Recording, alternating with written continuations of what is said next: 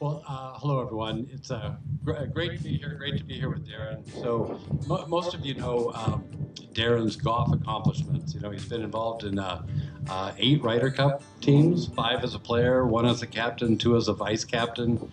Um, I think he's been named Sports Texaco Sports Star of the Year six Yeah, times uh, in all Europe. Is all that yeah? sorts- I all mean, sorts of stuff. For, drink, for drinking. for drinking, yeah, he says. Um, actually, as you can imagine, in Northern Ireland, he's a bit of a legend. Uh, it's, it's, it's one word. They say Tiger over here, they say Darren over there. Um, Darren, of course, won the Open Championship years ago. Uh, he's won two World Match uh, Cups, which has been awesome. He's won 20 ti 21 times worldwide. Um, all of that is wonderful, and we probably all know that. Uh, what you might not know is, uh, you know, Darren and his wife Alice and his family, they live uh, uh, primarily down in Abaco with us. Um, the, you know, what they do for uh, the staff, what they do for charity, what they do for children in Ireland, uh, in in the Bahamas, is really second to none. Uh, he gives his time um, all the time. Uh, never never complains about a thing. Uh, goes way out of his way to do all this, and is just beloved by the people in in the Bahamas. I know Darren and Alison will be here for the better part of a week. Some of you will get to know him. I hope you all do. Uh, it's it's uh, way worthwhile. We're happy to uh, have him here, and I'm uh, proud to call him a friend. Darren, Thank you, David. Thank you. you need this? David, thank you for those kind words. And um, it's a pleasure for Alison and myself to be here at Willowbend for the first time. Um, as David said, uh, we spend a lot of time down in Abaco. And um, for those that have been there, I don't know how many of you guys have been down in Abaco yet. Um, some of you have, some of you haven't. For those that haven't, I strongly recommend that you get down there. It's a beautiful place, and certainly we enjoy it a lot. And earlier this year, I was playing in um, where was I?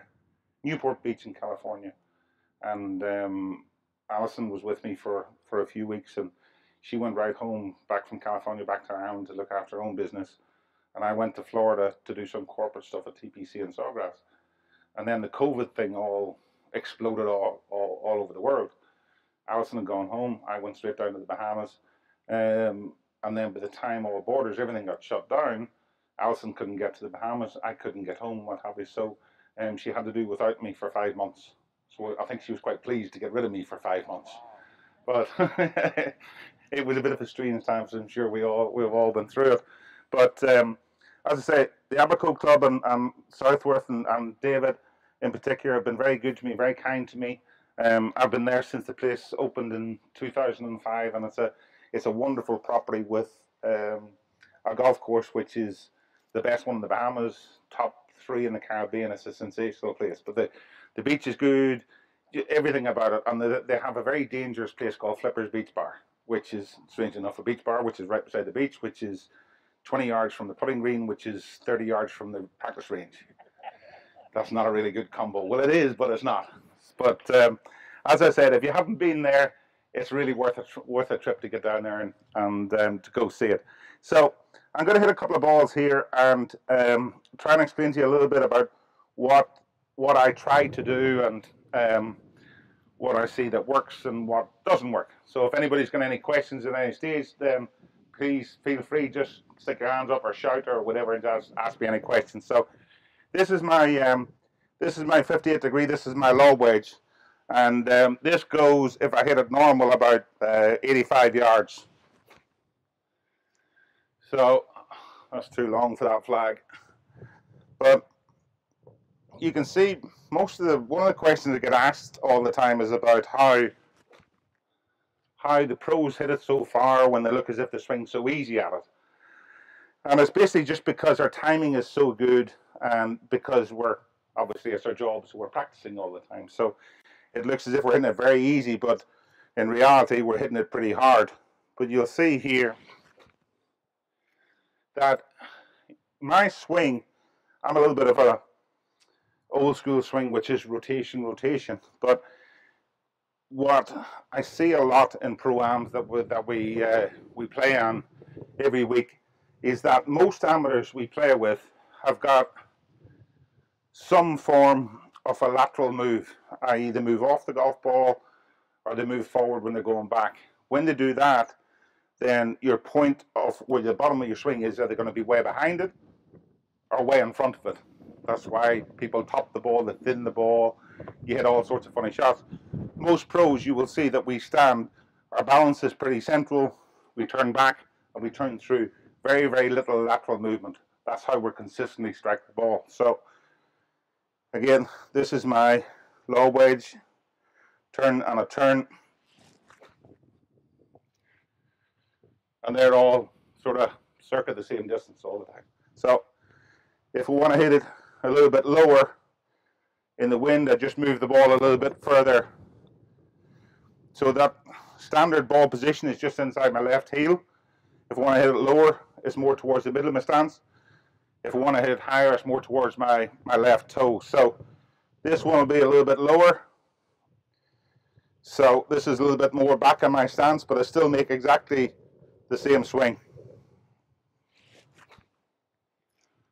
Ball goes lower. If I want to hit it higher, ball goes a little bit more towards the front of my foot, just over a bunker or just over water. Want to hit the ball higher, same swing. Ball goes a little bit higher. It usually doesn't go as straight as does this all the time on weekday and tournament times. Usually, the ball doesn't listen to me that well. But so that was my always. This is my nine iron, and all I'm trying to do is make the same swing with my for standard shots with my low wedge, nine iron, five iron driver, whatever. Just obviously stand a little bit further away from it because the ball, the club's a little bit longer. So this is my nine iron. Make the same swing, turn and a turn. So that ball um, will pitch well, my will tell me that it'll pitch 144 yards. So that's what he tells me it's supposed to go. And if it doesn't, it's his fault, never mind. So, one more. Same thing, turn and a turn.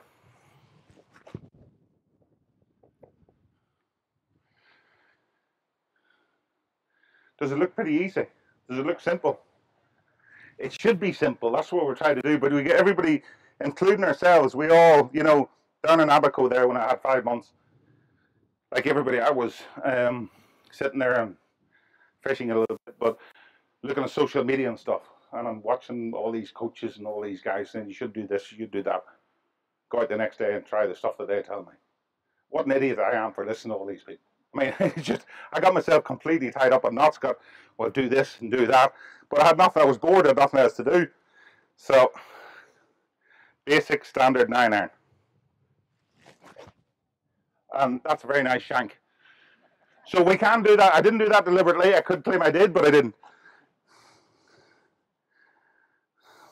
Normal nine iron.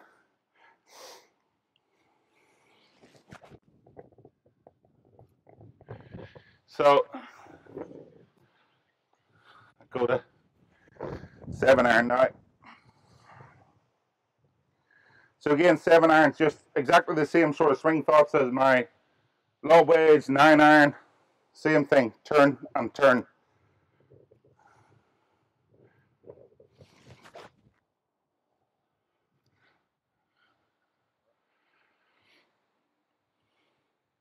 Anybody any questions yet? How do the pros spin the ball or not spin it? Yeah, a lot of the times, um, you know, when you're watching the pros on TV, we're trying to not spin the ball. That's a very good question. So, um, if we're trying to spin the golf ball, we'll have a lot of hand speed down at the bottom. If we're trying to not spin it, it'll be very dead wrists. You'll have very, very little hand action.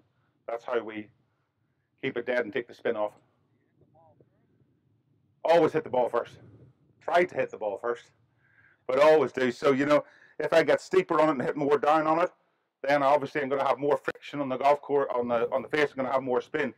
If I want to hit one um, with less spin, then I'll hardly take a divot. So I'll hit one um, like this that I'll just sort of brush the turf. I'll hardly take a divot here at all. He said, like that. So I just all I did was brush the turf, and that ball would have way less spin on it than the other ones. Very easy to spin it too much for us. That's why we're trying to take it off all the time. No, nearly all the time that to not take a divot is just a specialty shot because that's really that's that's tough. That's really tough. But we're always trying to go ball turf, ball turf, ball turf. So um, I was talking about this earlier. Um, bad golf, or go good golf, is from a club head that's going from high to low. Bad golf is from a club head that's going from low to high. So that goes back to the first thing that I said.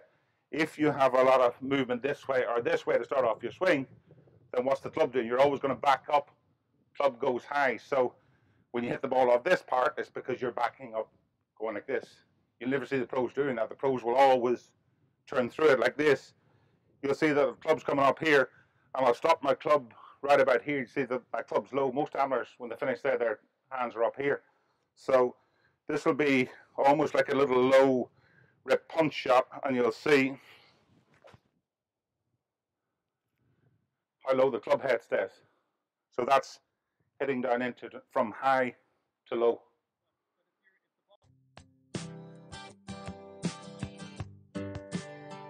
This, because your hands always lead the club head. The only time that your hands don't lead the club head in the golf swing is in a bunker shot when you're trying to hit a flop shot. The rest of the time, your hands are always, always leading the club head. If they don't, mm, that water on the left or the woods on the right or whatever, never good. So, you know, for me, trying to picture it, if I looked at my swing in slow motion at impact, you'll always see that I'm, you see all the pros are there. Everybody. They have to be to get a consistent strike, flight, all that sort of stuff. If your hands release early and go this way, sometimes you might have to do that if you got a tree ahead of us that we had to launch it so high. But in terms of a standard shot all the time, your hands never beat the club head never beats the never beats your hands. And then you square it up by turning your body accordingly, turning through.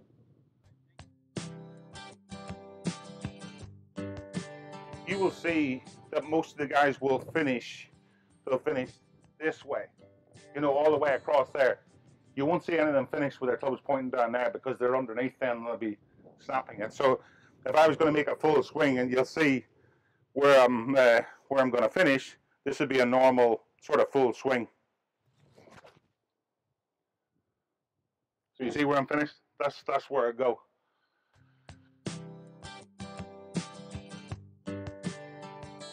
Um, a lot, but usually, if I'm really into, you know, practicing hard, um, when I'm at tournament stuff, it'll be eight, nine, nine hour days just practicing. Um, playing, it depends if there's any guys there that want to go out and have a bit of fun and have a gamble and whatever. It depends who's about to go and play. But um, I like to, I spend 75% of my time putting green, chipping green. That's what it is. Not, it's not this. It's all down there because if you can turn that um, six into a five, five into four, except that's the difference between winning and losing. So it's all short game, short game, short game. This bit's important, don't get me wrong, but that's the bit that makes you a little bit of cash at the end of the week.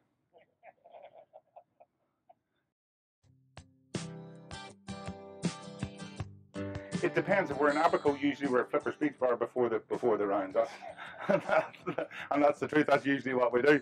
And then we go out and play, and we have the little uh, uh, what do you call it, the little cart bras right in front of them, so they all get stocked up and all sorts of stuff. So I go down there. So my all during my uh, my time down there, I play with um, the course superintendent down there, a guy called Matt DeMace, John Wiley, the food and beverage manager, Kevin O'Malley, Kevin O'Malley, the project manager, Brian Shaver, the golf director, and sometimes Clint Kemp, who owns Blackfly Lodge, one of the best fishing fly fishing lodges in the world and we'd go out and play six balls, everybody in their own in their own carts, and just Brian and I would play all the rest of the guys, play a full scramble, give them what they think is way too many shots, but never enough, so we would just beat them always about one or two, and then have them bitching all the time whenever we get it back into flippers again.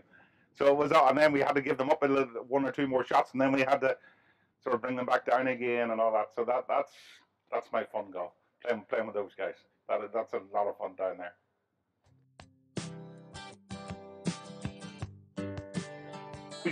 Would you take a look at someone like JB Holmes, who's one of the longest on the tour as well? And JB swings even shorter than I do. He only takes it up to here. Or Tony Finau, same sort of thing. He doesn't have that big a turn. You know, if I if I wanted to make a big turn, um, you know, I could stand there and go like that if I want to, because I've got a stretching pole thing that I do every day. And but to me, that messes with my timing. You know, I grew up in in Ireland where windy, bad weather, so I had to control the golf ball all the time. So I found it easier to control my timing if it was just that little bit shorter. Um, so there's not, yes, Tiger and those guys, some of them make a bigger turn, but not not all of them make those big turns. And the guys that hit it far as well. Tony Finau probably hits it further than Bryson DeChambeau with a shorter golf swing. So a big turn doesn't necessarily mean more speed. It's a little bit of both. It's, it's your turn. It's the width that they have up here. So if you watch them, JB Holmes is his right arms out there, DeChambeau's right arms out there. With the guys that this is maybe not as wide, that's loses power, loses speed. So it, it it's the width. If you can be Uh, much wider here, further away, so it's like a straighter left arm, that's how you get more speed and more distance. Way easier said than done.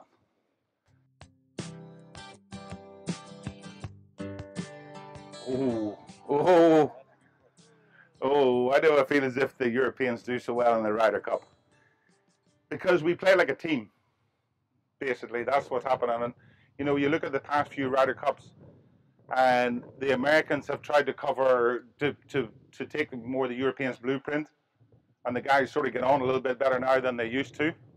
And um, you know, it used to be that those guys, you know, they didn't not all of them particularly liked each other. And that's not a really good scenario for a team. Um, whereas all the Europeans, even if we didn't like each other for that particular week, we did like each other. So, you know, that team spirit was always something that the Europeans were very strong on. The Americans have got much more into our way of doing it now and are, are very strong. But also, if you take a look at um, some of the best young players in the world, a lot of them were non-American. There were a lot of Europeans coming through there for quite some time. Whereas now, if you t- it's all cyclical. You take a look now, you've got Matthew Wolff, you've got Patrick Cantlay, you've got um, what do you call him, Collin Morikawa. Um, you've got quite a few of young Americans, since sensational young players, and not so many Europeans, young good Europeans. You've got Viktor Hovland. After that, um, not so many. And those European uh, old guard are getting a little bit older now. So it's going to be tough for Europe in the upcoming Ryder Cups. I'm not saying they won't win or whatever, but it'll be Europe had a good run of, of good young players. Now it's going back the other way again. So we shall see. We shall see what's going to happen. I think um, next one next year, America's going to be very difficult to beat at Whistling Straits. You know, you guys are going to be ridiculously strong, but that's the way it is. You know, home home and away, and I think did the, did the right thing this year by uh, postponing it, uh, because the Ryder Cup without the fans, you know, without over here going USA, USA, USA, or in Europe going ole, ole, ole, it's not the same, you know. And, and if you and if you really want to, playing in a Ryder Cup is like nothing else that we do. There is nothing, nothing even comes close to it. You know, I've been I've been fortunate to win um, a major I've been in contention for quite a few to win them. And the pressure you feel in the back nine of Sunday to win a major is nothing compared to what it is in the Ryder Cup. Ryder Cup's like 20, 50 times the amount of pressure because you're playing for everybody else as well. And, you know, for guys to go and play in a Ryder Cup, especially the first timers, without the crowd and without the atmosphere, it just wouldn't be the right way to do it.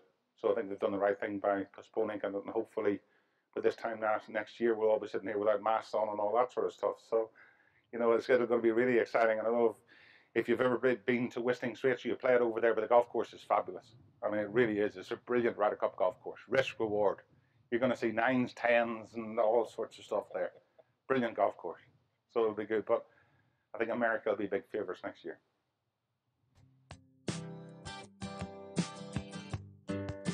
Royal Portrush. Did you go up there? Ah, you got to go there. Royal Portrush. Um, that's the home for us over there. But uh, Royal Portrush is fabulous. Have you been um, to? Have you gone to Scotland? Have you gone to Machrihanish Dunes? Uh, it's unbelievable. One of my favorite courses in the world. The way the, the greens just lie into this, uh, just absolutely brilliant.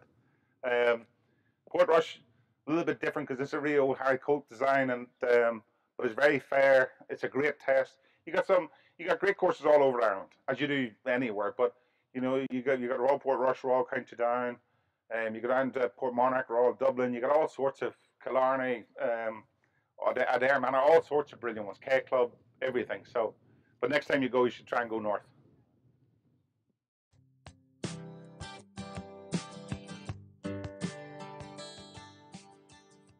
Appreciate what you're saying, and that's a very good point. You know, you've got all these classic design golf courses that the guys are just overpowering these days because they all hit at 350 through the air and all that sort of stuff. So there's one very easy way to do it, and they've done it this week at um, Olympia Fields. They've narrowed the fairways a little bit. They made the rough thick and the greens firm.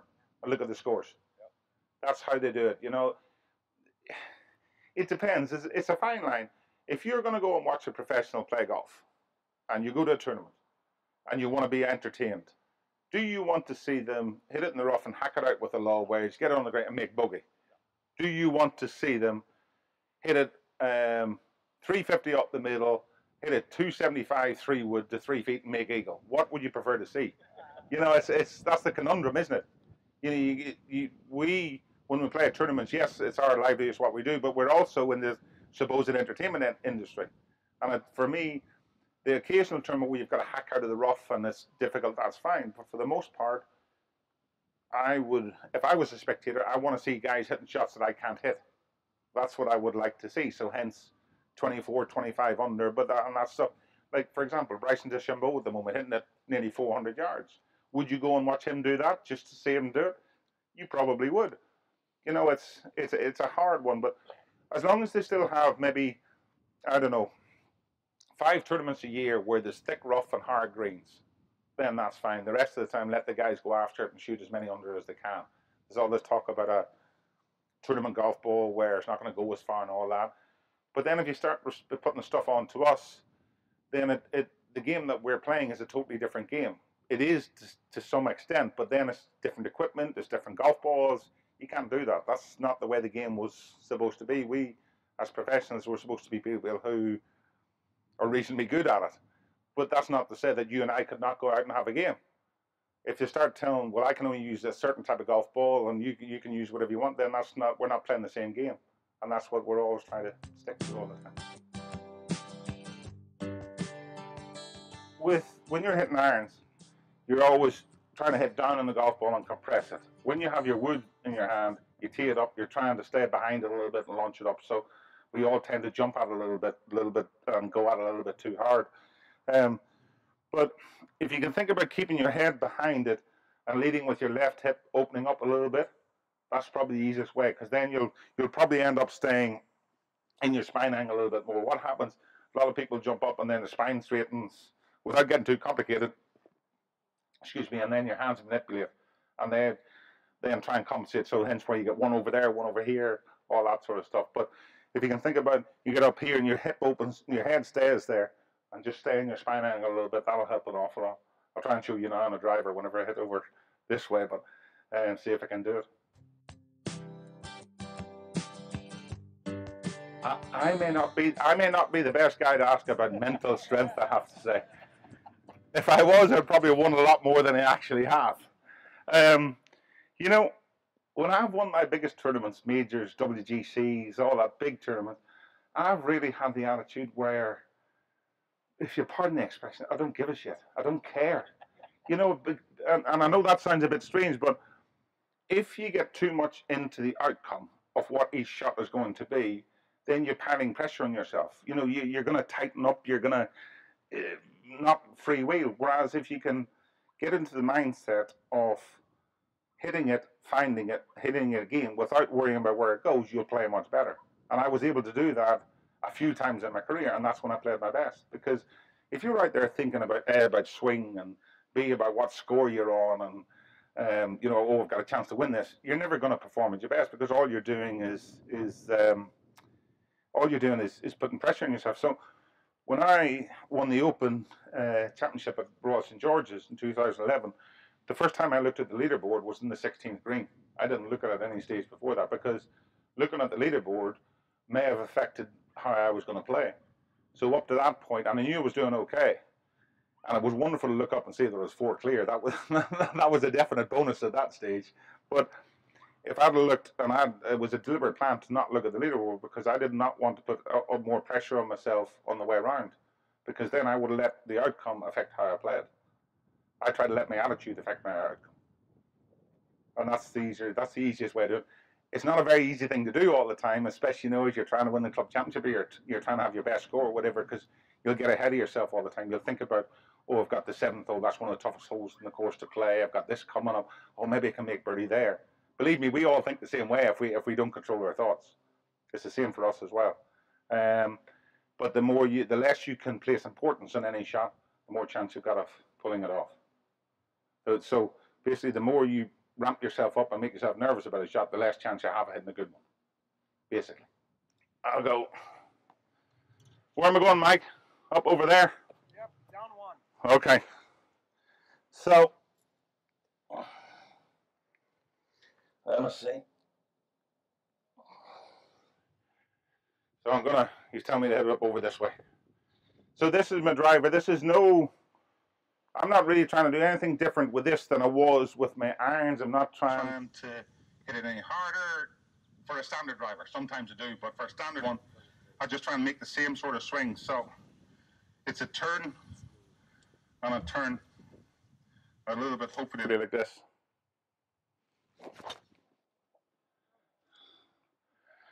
So, oh, that's easy. I didn't hit that one hard. That was all right. Uh, that was a little bit stiff, that one. But, um, you know, it's the same thing. If I want to hit it lower, the ball will be back in my stance a little bit. If I want to hit it higher, I'll move it up there and I'll try and keep my spine angle back this way. That's what I was, was saying. So if I try and hit this one harder and I'm going to launch it up here a little bit more, I'll just keep my head behind it, keep my spine angle, and put a little bit more speed into it. So this one should go higher. Like that.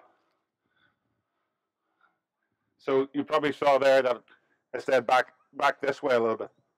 So that's that's how that's how you do it. And you know, growing up growing up in Ireland, um, playing on a golf over there when the weather's blowing and horrible and all that sort of stuff, windy, this would be the shot that I would be hitting a lot, but of a low sort of bullet.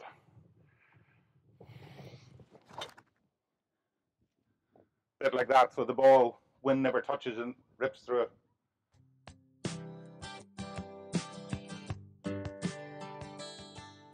I did only to impact, only to impact, but I don't want to hold them going this way.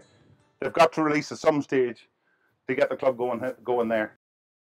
Whether with the driver you're trying to hit up on it um, for the long ones, um, but with the irons, it's, it's a more of a hold with a the driver a little, bit more release with it. So, and then, let me see if I can put a little bit more speed into this one.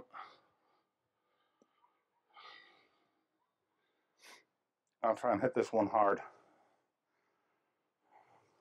So you'll see here a lot of people whenever they um, when they want to trying to hit it hard, will speed up their takeaway, and then their transition gets they lose their timing and transition. If you want to hit one hard, you ever really need to try and step on one.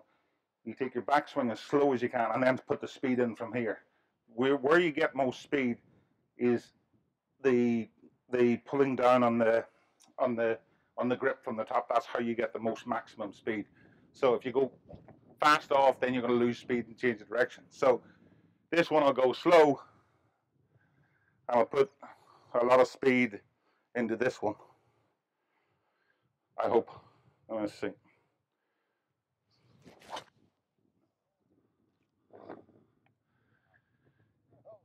So whenever on on TrackMan for um, obviously I'm in the championship, one of the older guys, but my speed on on TrackMan is about oh, club speed's about 115, 116, ball speed's about 170, between 170, 173, which is still pretty fast. That's gets it out there. So my carry, my carry is if I if I really hammered, my carry is about two 292 carry, and then probably maybe 20 roll or whatever. Sometimes, and that's that's flat cam. That's not straight downwind. So that sort of still works. Makes it a little bit easier. So it's not all not all bad. Uh, run for president. I think Tiger, yeah, Tiger is a bit of a conundrum. You know, um, Tiger's been a very good friend of mine all the way through my career. I first played with him in 1996 at the Open at uh, Open Championship at Lytham, and we were coached by uh, Butch Harmon. Spent a lot of time together in Vegas, um, and indeed all over. Played a lot of practice rounds with Tiger, um, and you know he's. I know you got some people that said Mr. Nicklaus best player in the world, Tiger best player in the world. It's it's it's one of these. Jack's record, obviously, with all those majors, are, is more, but Tiger, um, you know, simply just one of the best players that's ever lifted the golf club. Just unbelievable. You put it, put all his personal stuff to one side, put him down totally as a as a golfer. Just uh, uh, incredible. He's tight as a duck's ass, though. He won't spend a penny, but that's Tiger Woods. That will, we won't go into that. Um, I bought him more dinners than his zero that he's bought me. But anyway, but he's a really, he's a really really good friend. When I won the Open in 2011, he was and he couldn't play at a bad knee he was texting me every day, uh, every day. Said there, um, and what he watched all the golf. And he said, I didn't like what you did in number three. Play a little bit more left. Number seven, you hit a great pitch in there. Try and do the same sort of thing. But he would send me messages of advice on how to do it every day during the Open Championship. I mean, he's just Tiger's a good guy, but obviously when you think about these um, child prodigies, they're, they're they're brought up very very differently, and and from a young age he was he was trained to do that by, by his dad to become the best that they possibly could. So the competitor in him still wants to play, and he can still play, obviously, but he's just chasing that dream now. 44 is back, he's had all these surgeries, but he's still, until he can't walk anymore, he'll still be chasing that Jack's record. And you can't fault him for it, you know. He's earned the right to play as long as he wants to, wherever he wants to, and hopefully he will win some more. Um, if anybody can do it, he can do it. He wants to prove everybody wrong. And he's done that a few times already in his career, and I'm sure he'll do it again.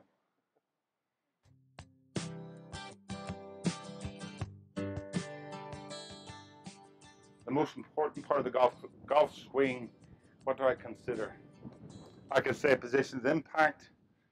I could say um, clubs leading the hands leading the club head most important part where I see a lot of it going wrong is transition up here.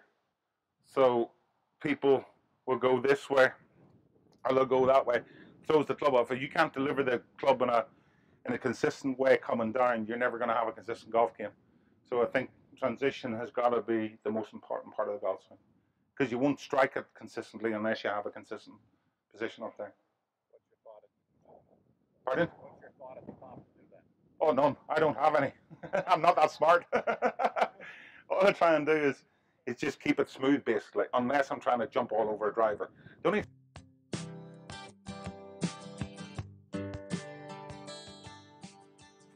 this uh, is called um, what's it called?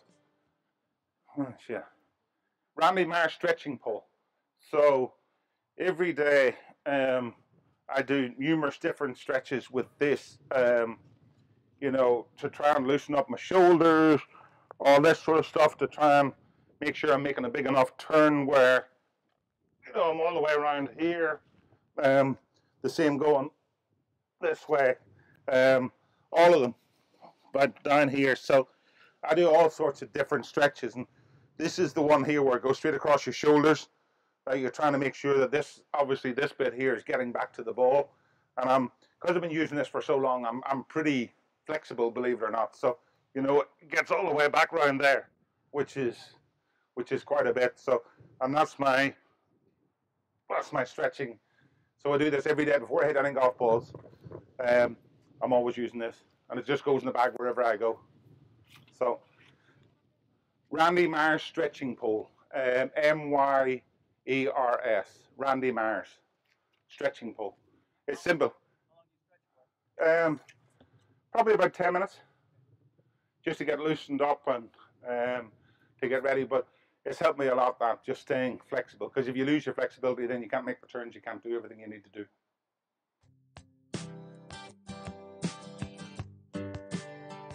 Either of them would be a privilege and an honor, but probably Tiger because um, I would respect Mr. Nicklaus a little bit more because with Tiger, I could take the piss out of Tiger all the way around playing with him. I could just get in his ribs all the time because I know him so well. So I'd probably have more fun. He would, um, he, I played him in the final of the World Match Play at La Costa and um, in 2000, 2000, 2000 and Tiger was playing at his at his best at that stage, and we are good friends and blah blah blah. He had an off day, I had a good day, and I beat him in the final. And afterwards, went in, did all the press and whatever, and went to my uh, went to my locker, and he had left a, a, a note on my locker. It says, "P.S." I said, "Congrats, be proud." P.S. You're still a FF. So I don't need to say what FF stands for. You can probably all figure it out. But um, so that's uh, the sort of relationship that I have with Tiger and myself. No, Rory's obviously about to become a father any minute, any any hour, and um, you know, in terms of all the guys there right now, he is by far the most naturally gifted um, of any of them. You know, you could say DJ the way he played last week, and Rory. DJ makes it look easy as well. Maybe I'm a little bit biased because Rory came through my foundation when he was 12 back home in, in, in Ireland and stuff. But, um, you know, Rory when he plays and when he plays well, he flows. He flows like Tiger flows. DJ did the same, but I think Rory is the most gifted, naturally gifted one of all of them. And um, I think he's obviously got other things with, with Erica now any time. Um, it's easy to see he gets down on himself a little bit too quick and, you know, saying that he can't get himself going. And it's got to be tough, though, when you have that much expectation on you that you're going to supposed to win every week or be one of the guys going to win every week. And golf is fickle. You know, he could be playing great and a lip out of the wrong hole makes the whole momentum change everything. And he just got a little bit frustrated. And um, it, it is different playing without crowds. You know, I've only got back played um, three tournaments now since Champions Tour since we restarted, them. without the fans there, it is very very different. The atmosphere is. It, it, is very uh, very flat. Rory, if he gets back on on a run again, could win five six tournaments in a row. He's that good. So, in answer to your question, do you think it was in best or? No. I think there's still a lot, a lot left in him. He's only 30. He's not that old yet.